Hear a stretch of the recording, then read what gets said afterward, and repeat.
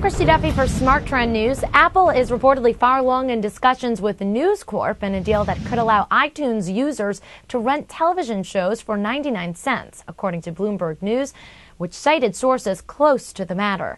iTunes users would be able to rent TV shows from News Corp's Fox station for 48 hours.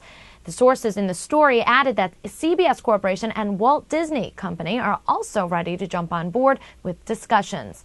SmarTrend currently has Apple in a downtrend since 2008. SmarTrend subscribers trading Apple using our alerts outperformed the stock by 33%.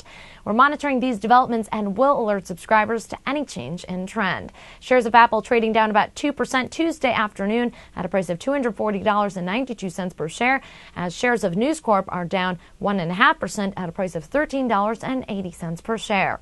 I'm Christy Duffy for SmarTrend News. For more news and market analysis, make sure to subscribe to our YouTube channel. That's Trade the Trend. Also visit our website, tradethetrend.com, for more headlines.